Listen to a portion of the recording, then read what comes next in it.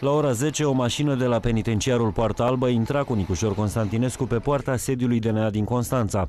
S-a interzis de către poliția politică să mai vorbesc cu presa. Este dictatură, nu mai este democrația în România. Fostul politician a fost azi a doua oară în fața procurorilor anticorupție în acest nou dosar legat de Hergelia Mangalia. Ce acuzații vi se aduc? Același dosar.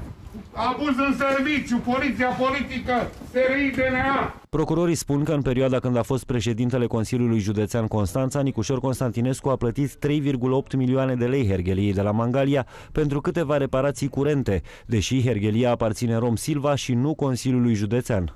Separat de aceasta, există o a doua speță, dar ambele sunt cuprinse în acest dosar, într-un singur dosar.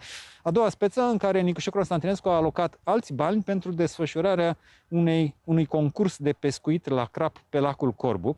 De asemenea, procurorii anticorupție spun că nu era în atribuția Consiliului Județean să facă o astfel de cheltuială. Nicușor Constantinescu a fost condamnat în mai multe dosare instrumentate de către procurorii DNA, în unele definitiv, iar în altele în primă instanță. El execută patru ani de închisoare în dosarul achiziției unui elicopter care ulterior a fost preluat de smurd și care s-a prăbușit în lacul Sudgöl. Într-o altă sentință definitivă din iulie 2019, în alta curte de casație și justiție l-a trimis 10 ani după gratii pentru că a plătit 30 de milioane de lei de la Consiliul Județean pentru plantarea de perdele forestiere și pentru alte proiecte care nu s-au realizat.